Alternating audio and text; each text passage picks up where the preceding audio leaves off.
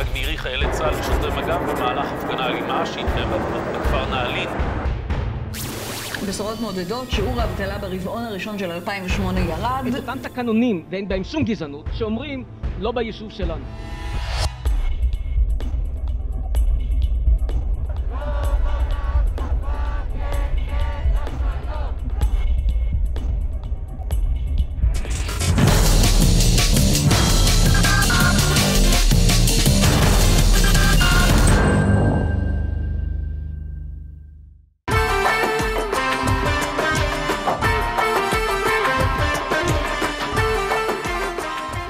סדר חברתי, מהדורת האקטואליה של הטלוויזיה החברתית. סיכום שנה. שנת 2014 החלה במחאה של מבקשי המקלט נגד מדיניות ההגירה של ממשלת ישראל ונגד הפעלת מתקן הכליאה חולות. מבקשי המקלט שבתו, יצאו להפגנות ענק וצעדו אל שגרירויות ואל נציבות האו"ם לפליטים. אנחנו לא באנו בשביל עבודה, לא באנו בשביל אוכל, לא באנו לשום דבר, אנחנו בגלל שיש לנו מלחמות במדינות שלנו, יש לנו רצח עם. גם ביבי נתניהו, גם אדוני השר, שכולם, שר הביטחון, שהבינו, גם הם היו פליטים במדינות העולם. מנגד, תנועת אם תרצו ערכה הפגנה הקוראת לכלוא את מבקשי המקלט. קמפיין המסתננים ממומן, מאורגן ומתוקצב, שוב, כמה מפתיע, על ידי ארגוני הקרן החדשה לישראל. ברגעים אלו, כשאני מדברת איתכם פה, מפגינות אלפי נשים מאריתריאה וסודאן עם כל הילדים שהם ילדו פה על חשבון מדינת ישראל.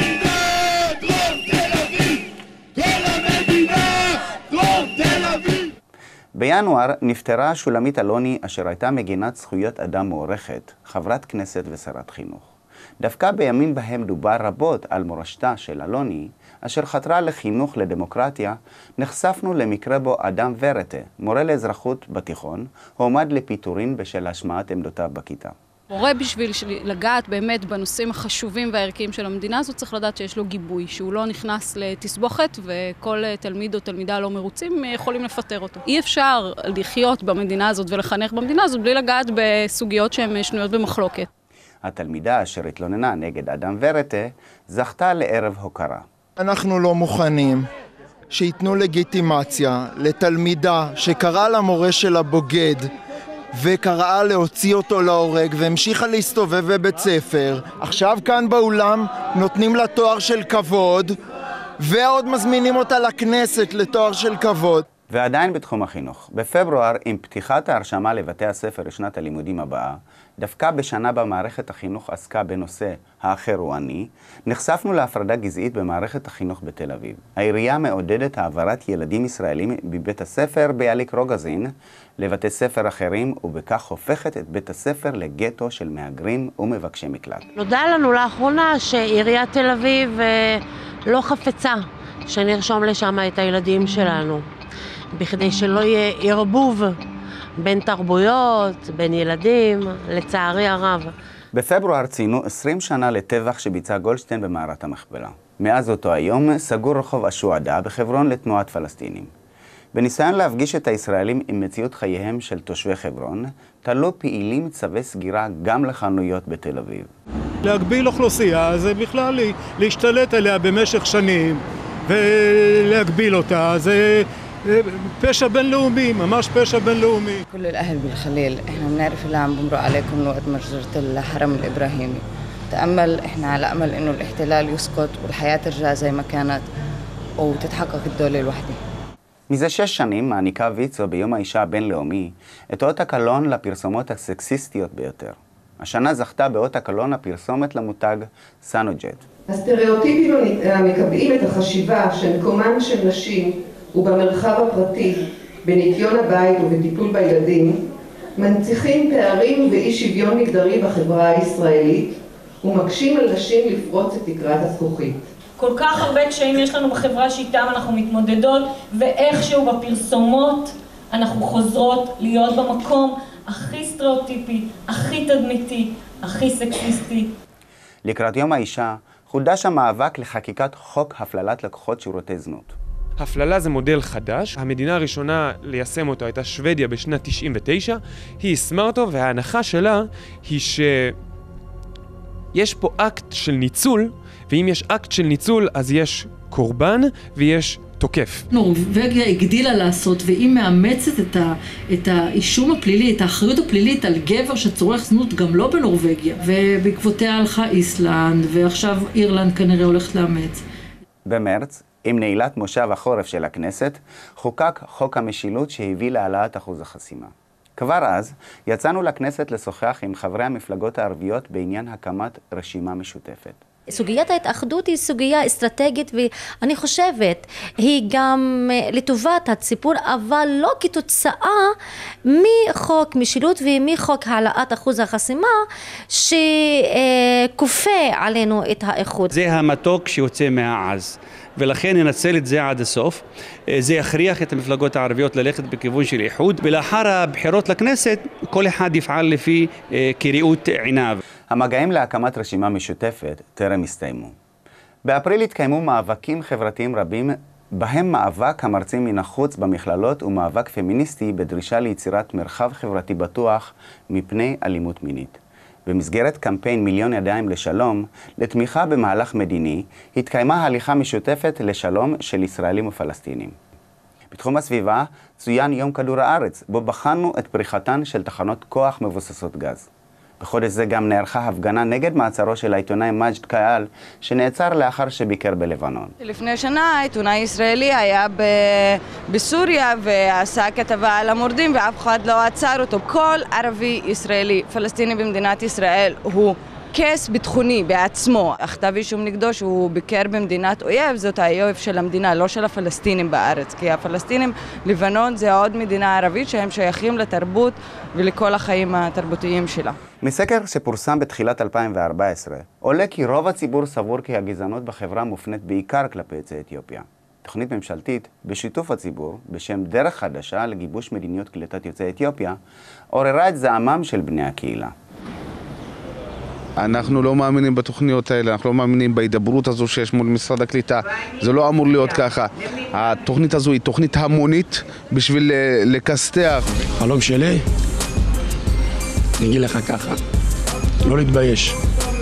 אני הולך למקומות ואני מרגיש שאני לא שייך. מה שיהיה פה, סיבוב נוסף לפנתרים השחורים, זה מה שיהיה.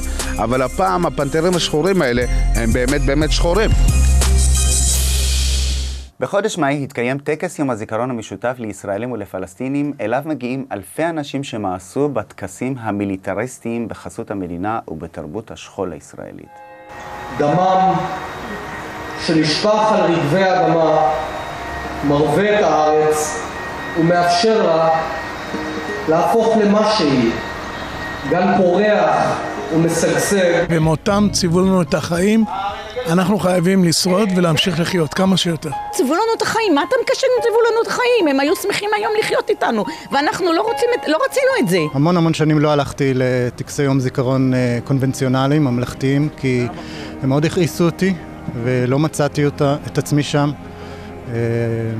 גרמו לי זרות וניכור.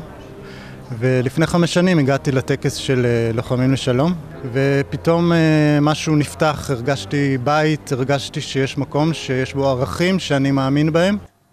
מיד לאחר יום הזיכרון, ביום בו מציינים בישראל את יום העצמאות, יש מי שעבורם זהו יום אבל, נכבה. אז מה מפחיד את היהודים בציון יום הנכבה? אחת הסיבות הבולטות זה לפעמים להכיר בסיפורו של האחר יכול לפגוע במטרות והמניעים הפוליטיים שהיו לכמה אנשים, במיוחד בתנועה הציונית ובממשלת ישראל. הפחד הגדול שיהיה גם ניצולי נכבה וגם שהם ירצו את הזכות שלהם. נדמה לי שזה מפחיד כששומעים שהעם שלך גרם לאסון של עם אחר ולא מקבלים את זה פשוט. מהרבע מיליון בעלי חיים עוברים ניסויים בייסורים בישראל, רובם מומתים בתום הניסוי. בחודש מאי קיימו פעילים מיצג התנגדות לניסויים אלו. במהלך כל חודש מאי בעצם מעלים למודעות הציבורית את נושא הניסויים בבעלי חיים, תחום חשוך ואפל, אולי אחת הפינות האפלות ביותר בחברה האנושית. מי יודע באמת מה קורה שם? כמה צרחות נשמעות במעבדות הנסתרות מהעין ומהאוזן? חברה בה מותר לעשות מעשים שכאלו היא חברה חולה מיסודה.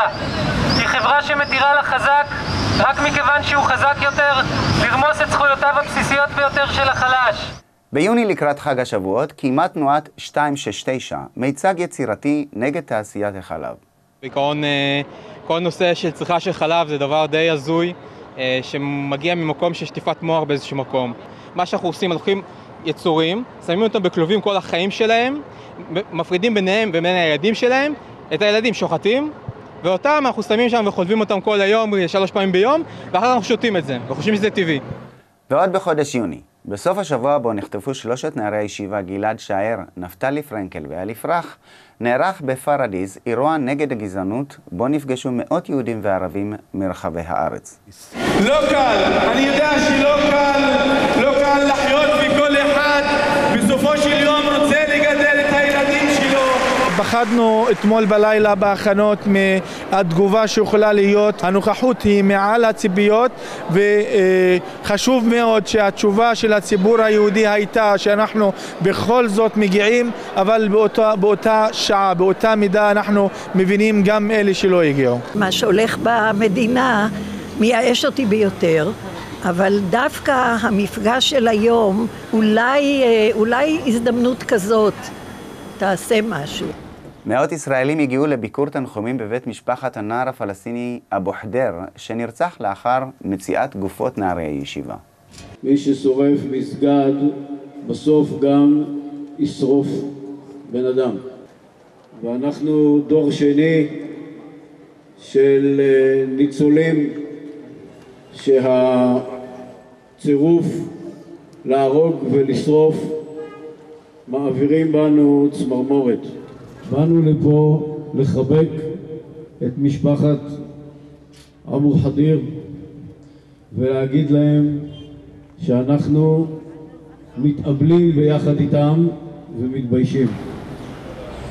המלחמה בקיץ לוותה בתמיכה גורפת בציבוריות הישראלית. למרות התעלמות התקשורת המרכזית מכך, היו גם קולות שהביעו התנגדות למדיניות ההתקפית של הממשלה. הנה מקצת מאותם קולות. אני חושבת שהרבה מאלה שאתה שומע את ההתלהמות של, ה, של המלחמה, זה אנשים שמצליחים לא לראות שם פרצופים, לראות שם רק את משגרי הטילים. ואז הם מדברים כמו שהם מדברים. אני חושבת שאני שילמתי מחיר מספיק גבוה, אני באתי את הבן שלי, יש לי זכות להגיד, להפסיק את ההרג. נמאס לנו שמשתמשים בנו למלחמות פוליטיות, נמאס לנו מההסתה. אנחנו רוצים להגיד לא, זהו, מספיק. כל המציאות של החיים בישראל, שמבוססת על הפרדה בין ערבים ליהודים, סופה תמיד מלחמה, סופה שנאה. להתחיל מגיל קטן מאוד, לחנך את האנשים שהנה ערבים ויהודים יכולים להיות ביחד, ויש להם הרבה מן המשותף, ורק החינוך המשותף ורק החיים המשותפים יכולים לקרב בין שני העמים ולקרב את השלום ואת סוף הכיבוש. עם שוך הקרבות, נושא המאבק בעוני ודוח אלאלוף שבו לכותרות, אך כצפוי, עלויות צוק איתן דחקו את יישום המלצות הוועדה. ביטחון זה לא רק מצב ביטחוני מדיני, זה מצב ביטחוני כלכלי. וזה כבר מתחיל להיות מצב ביטחוני תזונתי בסיסי לילדים שאין להם. ילד מפחד שמחר יעיפו אותו מהבית, כי אין לנו איך לשלם שכירות. חבר'ה, תתעוררו. האם אנחנו יודעים ויודעות מה רכיבי המזון שלנו? האם יש צורך לסמן מוצרים מהונדסים גנטית? ומהי בכלל הנדסה גנטית? דיון שהתקיים בכנסת במהלך חודש ספטמבר. זה תוצרת של אוסם, produced from genetically modified organism, או בצרפתית, ce produit contient des organismes génétiquement modifiés. זה מה שנמכר בצרפת ובאנגליה, שם זה מסומן, פה זה לא. חברות מסחריות עשויות לרצות לסמן מוצרים כנקיים מחומרים מהונדסים גנטית על מנת למכור יותר לציבור, כיוון שציבור שיראה חותמת של נקי מהנדסה גנטית, עשוי לחשוב שמדובר במוצר בריא יותר, ולא לאו דווקא ככה דברים. ראוי שהציבור ידע, זכותי כציבור, כהדיוטה בציבור שלא מבינה מדעים ולא צריכה להתעמק באופן הזה, זכותי לדעת ולהבין מה אני אוכלת ומה אני מכניסה לגופי. השקיפות פה היא חשובה מאוד. ועוד בספטמבר, מצעד בעלי החיים השנתי נגד הדיכוי המתמשך של בעלי החיים במשקים, במעבדות הניסויים, בלולים וברחובות.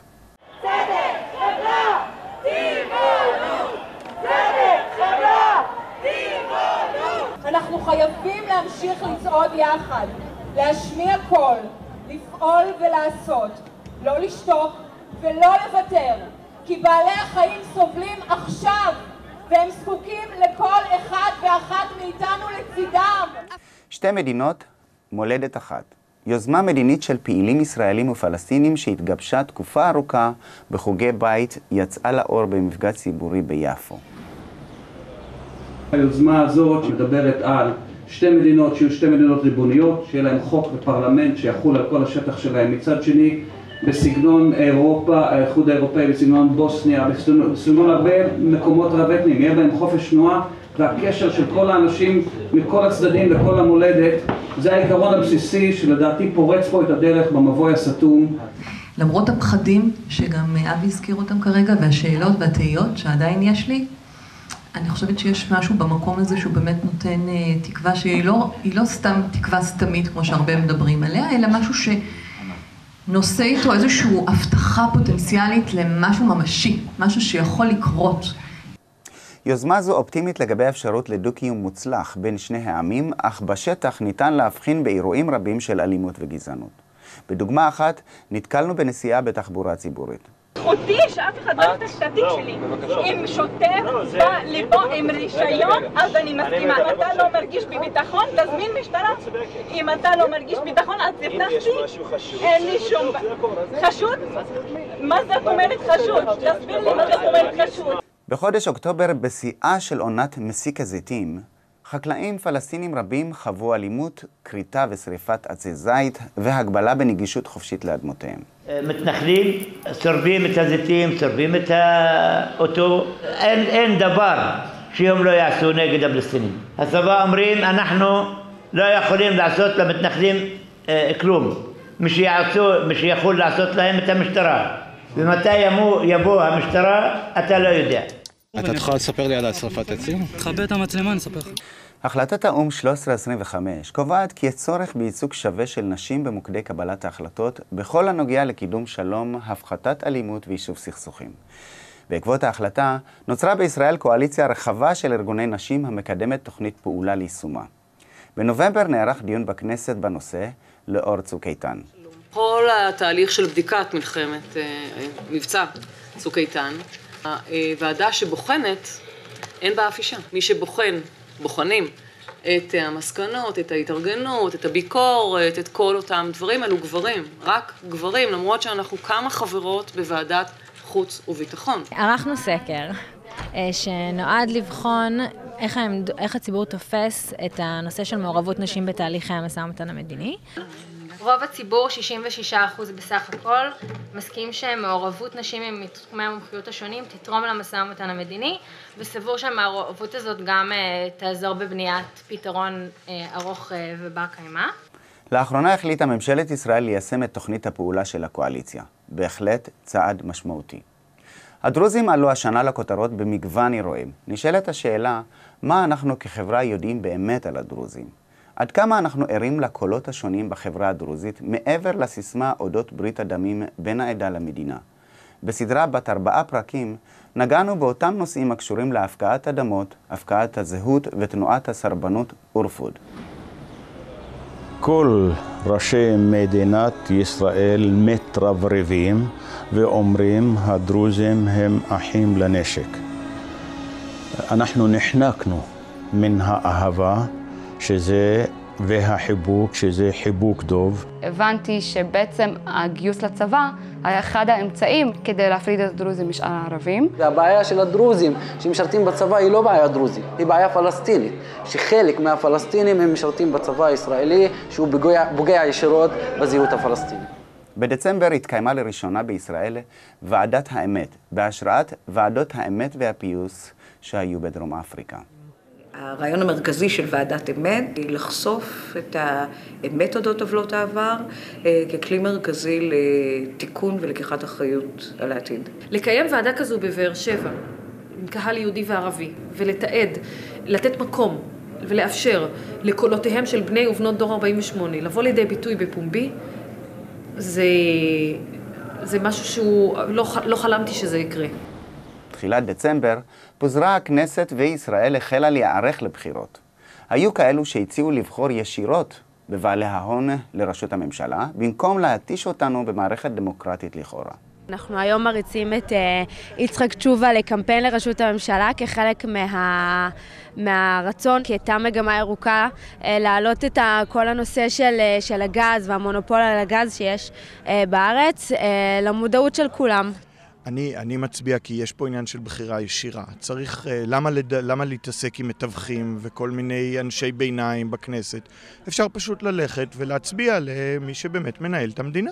התשובה, בראשות יצחק תשובה. נפטרים מהמתווכים, בוחרים בטייקונים. הפתק שלי בקלפי, גזל. רק יצחק תשובה. רשימת המחנה הציוני של העבודה והתנועה אפשרה לרגע לשאול מה זה באמת ציוני ומה השם הזה מייצג. לדעתי להיות ציוני זה קודם כל לתמוך ברעיון של מדינת ישראל בתור מדינה ליהודים. אוהב את המדינה, לא רוצה לחלק שטחים. לשרת, לשרת בצה"ל. זה גזענים האלה, לא? אני חושב שזו סתירה תמידית בתוך מדינת ישראל. היכולת שלנו להכיל מיעוטים, להיות, וההתנגשות בין המדינה היהודית לדמוקרטית זה משהו שהוא בבסיס של, ה, של המדינה והוא קונפליקט תמידי, כאילו, שמלווה אותנו. ירידת ערך הרובל העסיקה מדינאים וכלכלנים, אך כמו תמיד, האנשים הרגילים נדחקו לשולי סדר היום הציבורי. הפנסיונרית שהגיעה לישראל לפני 20 שנה, והפנסיה הזעומה שלה נשחקה בחצי, אפילו לא הצליחה לקבל זמן מסך. Мы сравниваем, если при 30 я получала где-то там 1200, то сейчас я рассчитываю на 450. Потому что банк забирает, эти забирают. Конечно, этот кризис, который сейчас находится в России, очень сильно ударит по пенсионерам. Очень сильно. Потому что некоторые получают еще меньше же пенсии, чем я, допустим, да? получат, значит, еще да, 150-200 шекелей. Это смешно. Я не представляю, как сейчас мы будем жить. Не, я не могу себе представить.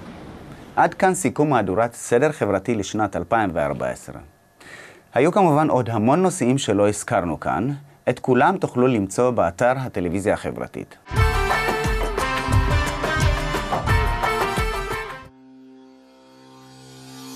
לדעתי להיות ציוני זה קודם כל לתמוך ברעיון של מדינת ישראל בתור מדינה ליהודים. להיות יהודי טוב, ליישב את הארץ. להגן על הארץ שאתה בחו"ל, להציג אותה בצורה חיובית. להיות מודע, לדעת ולבקר את המדינה כשצריך. זה לאהוב את הארץ, לאהוב את המדינה.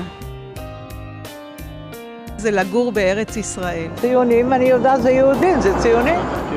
אוהב את המדינה, לא רוצה לחלק שטחים. לשרת, לשרת בצה"ל. זה גזענים האלה, לא? למה הם בחרו בשם הזה? כי כפי הנראה שיש איזושהי דילמה בקשר למה זו ציונות. זה לא המחנה הציוני, לא שלי בכל אופן. לא, זה משהו שנורא מחבר את כל אחד שהוא ישראלי להיות ציוני. לחשוב כל מיני מחשבות אה, פופוליסטיות זה לא ציונות. הם רוצים להתיימר, להיראות, לא מה שכולם אומרים עליהם, אנחנו לא אה, שמאלנים ש... שנגד המדינה או שעושים דברים נגד אה, הארץ. זה משהו ש... שאתה... שלא בהכרח אתה צריך לעמוד מאחוריו, אבל אתה יכול להגיד אותו באיזו סיסמה מאוד טובה. לפנות לקהל יעד יותר רחב. הם מכרו באמת, לקחו את השם הזה כדי לנסות לגנוב את האנשים של בנט. גם קולות מהימין, גם קולות מהשמאל. ציונים זה לא רק יהודים, יכול להיות גם ציונים, יש ציונים דרוזים, יש ציונים נוצרים, יש כל מיני. נראה לך שהערבים יהפכו להיות ציונים? הם קוראים לעצמם ציונים בכדי להוציא את האזרחים הערבים כאילו כביכול סוג ב'. בטוחה שהערבים נפגעים מזה, כי זה איכשהו יכול להיות שהם מתייחסים לזה בתור בידול. אני חושב שזו סתירה תמידית בתוך מדינת ישראל. היכולת שלנו להכיל מיעוטים, להיות, וההתנגשות בין המדינה היהודית לדמוקרטית זה משהו שהוא בבסיס של, ה, של המדינה והוא קונפליקט תמידי, כאילו, שמלווה אותנו.